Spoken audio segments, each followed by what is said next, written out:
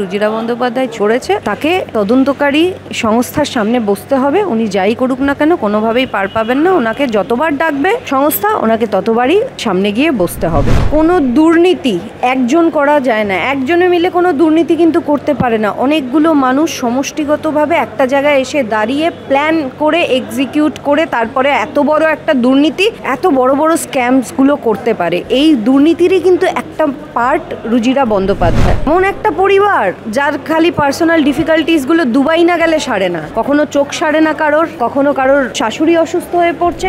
পুরো ব্যানার্জি পরিবার, মুখ্যমন্ত্রী, তার ভাইপো, তার চেলা চামুন্ডা যারা রয়েছেন, তারা প্রত্যেকে মিলে যদি এখন ভাবেন যে এই সব করে ইডি, ইডিকে, সিবিআইকে কোনো রকমভাবে চোখে ধুলো দিয়ে এনারা পার পাবেন, হবে না। যে কাজ এনারা ঘটিয়েছেন, দিনের শেষে ওই তিহারে অনুব্রত মণ্ডলের মেয়ের যে আজকে অবস্থায় এই রুজিরা বন্দ্যোপাধ্যায়দের কোনদিন ওই অবস্থাই হবে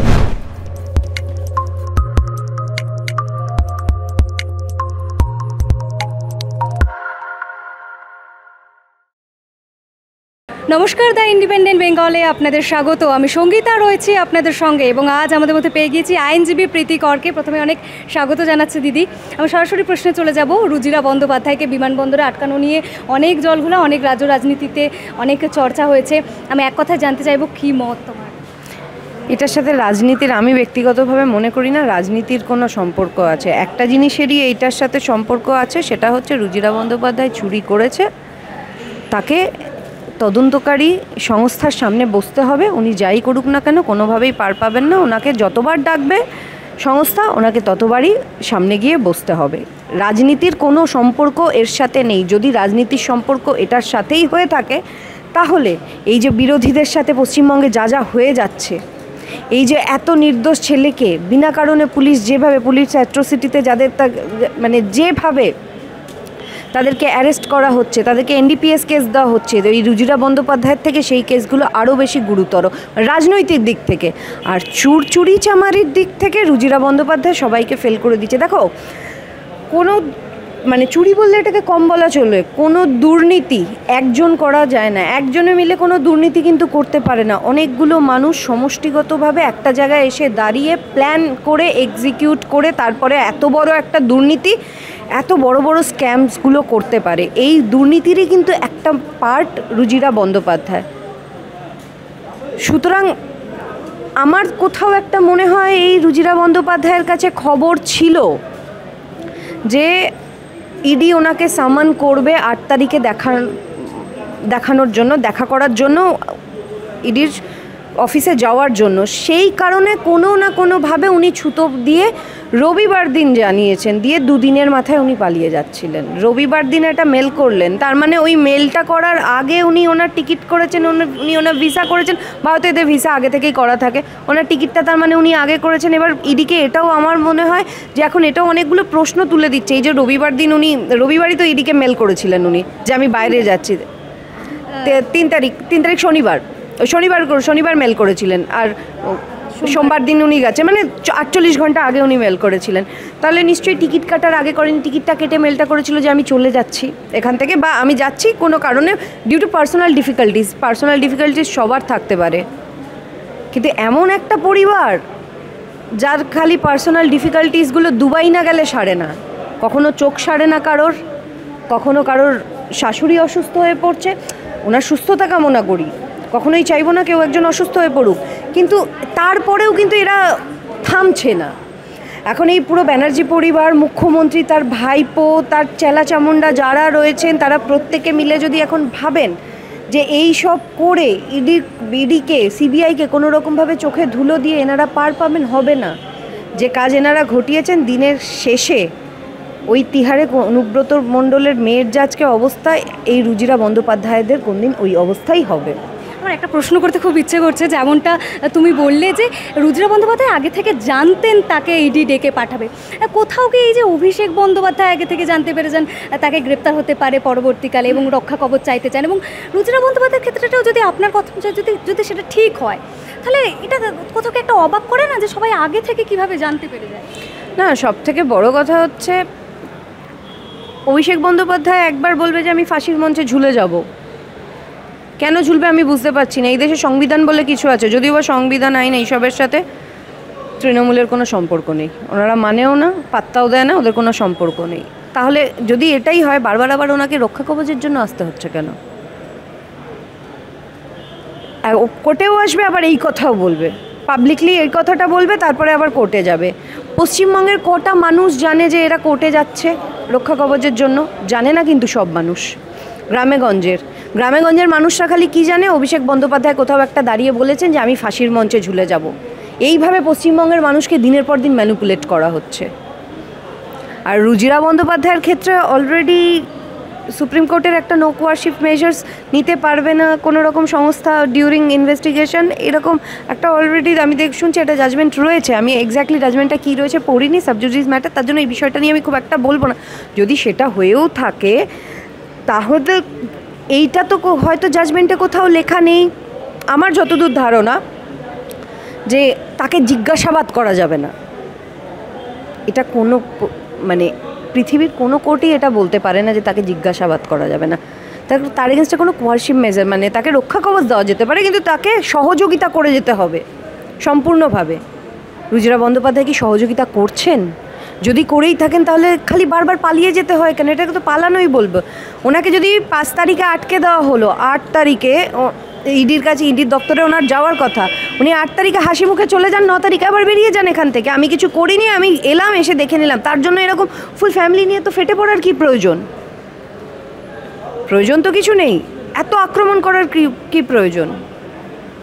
বারবার এই মানুষকে না, মানুষের মানে বারবার এই একটা মানুষের সামনে মাইক ধরে বারবার এই একটা কথা বলা। যে বিজেপি করাচ্ছে বিজেপি করাচ্ছে বিজেপি করাচ্ছে, এতে না মানে মানুষের, গ্রামেগঞ্জের মানুষের প্রতি না মানে একটা এই এজেন্সিগুলোর লয়্যালটি নিয়ে একটা প্রশ্ন উঠে যাচ্ছে। যে তাহলে কি সত্যিই বিজেপি করছে? না, দিদি বলছে, দিদির ভাইপো বলছে, তার মানে নিশ্চয়ই করছে। মানে এরা কোন খেলাটা খেলছে তাহলে পশ্চিমবঙ্গের মানুষের সাথে? অভিষেক বন্দ্যোপাধ্যায় যেটা বলছেন যে সুপ্রিম কোর্টের নির্দেশ ছিল, তারপরেও যে যেতে না দেওয়ার বিষয়টা নিয়ে তিনি আদালত অবমাননার মামলা করবেন। সুপ্রিম কোর্টের দ্বারস্থ হবেন, এমনটা জানা যাচ্ছে। এখনও হননি? উনি তো সকালবেলাটা কিছু হলে বিকালবেলার মধ্যে পৌঁছে যান কোর্টে। হাইকোর্টে কিছু হলে বিকালবেলা দিল্লি পৌঁছে যান। তাহলে এখনও হননি কেন? এত দেরি, এতদিন ধরে কেন দেরি করছেন? তার মানে উনিও কিছু জানেন, কিছু ফল্ট রয়েছে ওনাদের তরফ থেকে। চলে যাক। যদি সেক্ষেত্রে ইডি যদি সেরকম কিছু ইডির তরফ থেকে যদি কোনো লেখিও না সেরকম কিছু থেকে থাকে সে ইডি সেটা জবাব দেবে। তার জন্য কোর্ট রয়েছে। বিচারাধীন বিষয়ে একটা। বিচার ব্যবস্থা রয়েছে। সেখানে মাইক নিয়ে দাঁড়িয়ে এই ধরনের কথাবার্তা বলা, যে আমার ছোট ছেলেটাকেও ছাড়বে না। প্রথম থেকে মমতা বন্দ্যোপাধ্যায় থেকে শুরু করেছেন এই বাচ্চাগুলোকে নিয়ে এরকম রাজনীতি করা। সিবিআই গেল ইডি গেল, হরি হরিশ চ্যাটার্জি স্ট্রিটে অভিষেকের বাড়িতে মমতা বন্দ্যোপাধ্যায় তার নাতনিকে নিয়ে বাইরে বেরিয়ে এলেন। ওনাকে ওনাকে থেকে শুরু করে তারপরে রুজিরা বন্দ্যোপাধ্যায় বাচ্চা নিয়ে গেলেন যেটা করতে। এখন আবার অভিষেক বন্দ্যোপাধ্যায় শুরু করেছে। বাচ্চাগুলোকে এরা কোনোভাবে এদের থেকে দূরে রাখতেই পারছে না এইসব বিষয় থেকে। এদের এগেনস্টে তো চাইল্ড কমিশন এবার যাওয়া উচিত। যে এইসব বিষয় থেকে বাচ্চাদের দূরে রাখুন। বারবারও কেন আমার বাচ্চাকে গ্রেপ্তার করা হোক। আরে, তোমার কর্মের ফল তোমার বাচ্চা কেন ভোগ করবে? এক দেখাই তো যাচ্ছে অনুব্রতর কর্মের ফল অলরেডি অনুব্রতর মেয়ে ভোগ করছে। মানিক ভট্টাচার্যের কর্মের ফল মানিক ভট্টাচার্যের ছেলে ভোগ করছে। তো তোমরা কি এখন সেটাই চাইছো? তাদের একটা সুন্দর ভবিষ্যৎ দাও। তোমার বাচ্চাগুলোর, সেগুলোকে এসবের থেকেই নোংরামির থেকে দূরে রাখো। বারবার বাচ্চাদের কথা বাইরে বলার তো কোনো প্রয়োজন নেই। মমতা বন্দ্যোপাধ্যায় একটা কথা বলছেন যে বিষয়টাকে একবারে অমানবিক বলে আখ্যা দিচ্ছেন তিনি। কারণ যেটা আহ, আপনি বলছেন যে রুজিরা বন্দ্যোপাধ্যায় জানিয়েছিল তারপরেও তখন তাকে না আটকে বিমানবন্দরে গিয়ে আটকানো তার মা অসুস্থ তাকে দেখতে যাচ্ছেন খুবই অমানবিক একটা বিষয় বলে আখ্যা কে অমানবিকতার কথা বলছে? যে কয়েকদিন আগে এইগ্রায় গিয়ে বলে এসছে যে সিচুয়েশন আমাকে অ্যালাউ করেনি এই এই জায়গাটায় আসতে কোন পরিস্থিতি তাকে আটকেছিল? সে মানবিক অমানবিকের কথা বলছে? যে ঘুরতে মানে দুবার করে, দেখো, দিল্লিতে যে কুস্তিগিরদের সাথে যা হয়েছে, আমি সেটা সম্পূর্ণভাবে মানে অসমর্থন করি। আমার মানে ধিক্কার জানালেও সেই ঘটনাটা কম বলা চলবে। সাক্ষী মালিকদের যে অবস্থায় দেখছি। তাদের জন্য এখানে উনি দুদিন পদযাত্রা করতে পারলেন। আর তারই রাজ্যে যে দিনের পর দিন এই বেকার ছেলে মেয়েগুলো এই রোদে, এই বৃষ্টি, শীত সব কিছু উপেক্ষা করে রাস্তায় পড়ে রয়েছে, তাদের কাছে একবার যেতে পেরেছেন? তাদের সাথে একবার কথা বলতে পেরেছেন? উনি এখন মানবিকতার পাঠ পড়াবেন? একটা চোরকে আটকানো হয়েছে। আচ্ছা ঠিক আছে সরি এদের তো আবার চোরও বলা যাবে না, সেখানেও তো আবার সমস্যা। যদিও বা চোরই বলা চলে। একটা অ্যাকিউজ একটা মামলার, তাকে আটকানো হয়েছে। সেক্ষেত্রে মানবিক, অমানবিক? কিসের মানবিকতা? এই যে রুজিরা বন্দ্যোপাধ্যায়কে আট তারিখ হাজিরা দিতে বলছে, কি মনে হচ্ছে? আরও বেশি করে কি সমস্যায় জড়িয়ে যেতে পারবে না, সেটা তো দেখো, এখন আট তারিখটা গেলে আমরা জানতে পারব। উনি যদি সহযোগিতা করেন, তাহলে উনি সেভাবেই বেরিয়ে আবার ন তারিখে টিকিট কেটে মায়ের কাছে চলে যাবেন। আর যদি সহযোগিতা উনি না করেন, তাহলে অনুব্রত মেয়ে সুকন্যা মণ্ডলের পাশের, ওনার জন্য একটা সেল খালি করা হবে। কোথাও কি অভিষেক বন্দ্যোপাধ্যায় বলছেন যে আমার সঙ্গে লড়ে পারছে না বলে আমার সন্তান, আমার স্ত্রীকে আটকানো হচ্ছে এবং তৃণমূল মহল থেকে একটা রাজনৈতিক প্রতিহিংসা বলে দাবি তোলা তাহলে অভিষেক বন্দ্যোপাধ্যায় বলে দিক রুজিরা বন্দ্যোপাধ্যায় লিপসেন বাউন্সের কে হয়? লিপসেন বাউন্সের সাথে রুজিরা বন্দ্যোপাধ্যায়ের কী সম্পর্ক সেটা অভিষেক বন্দ্যোপাধ্যায় খোলাখুলি প্রেস কনফারেন্সে কথা বলুক তারপরে এই কথাগুলো মানাবে। ওনার সাথে পারছেন না, উনি কে এমন বীর যে ওনার সাথে পারছে না? দশ বছর হয়নি যার রাজনীতিতে হাতে খড়ি যার অলরেডি মাথায় একশোটার ওপরে স্ক্যাম দুর্নীতি চেপে গেছে, তার সাথে আবার পারছে না। ভারতের সংবিধানটা অত ঠুনকো। যে এই অভিষেক বন্দ্যোপাধ্যায়ের মতো চোরগুলোকে ধরার জন্য, তার জন্য তাদের ওয়াইফদেরকে করতে হবে, তাহলে তাও এরা তাহলে বউদের, শালিদের, এদের সবাইকে সামনে দাঁড় করিয়ে তাহলে এই ধরনের দুর্নীতিগুলো করে কেন? তখন মনে থাকে না? এখন যেই জেরার ইডির জেরার মুখে পড়তে হবে এখন তা এইসব কথা। লিপস অ্যান্ড বাউন্সের প্রসঙ্গ যখন উঠলই কোথাও কি কি সুজয় কৃষ্ণ ভদ্রের গ্রেপ্তারি এবং লিপস অ্যান্ড বাউন্সের সামনে চলে আসা তো কি এটার জন্য কি রুজিরা বন্দ্যোপাধ্যায় বেশি করে সামনে চলে এলো? দেখো পুরোটাই তো তদন্তের মানে এখনও তদন্ত চলছে এবার কে কার জন্য সব তো হাওয়ায় হাওয়ায় হতে পারে না কারণ এই সুজয়বাবুই কিন্তু একটা দিন বলেছেন যে আমার বসকে কেউ পায় না। আমার বসের নাম কি? অভিষেক বন্দ্যোপাধ্যায়। সেই অভিষেক বন্দ সেই বসেরই তো ওয়াইফের নাম যে রুজিরা বন্দ্যোপাধ্যায়। সুতরাং সেক্ষেত্রে কানেকশান তো হান্ড্রেড পার্সেন্ট কিছু আছে। আট তারিখ যাক, আট তারিখ গেলে কিছু বোঝা যাবে।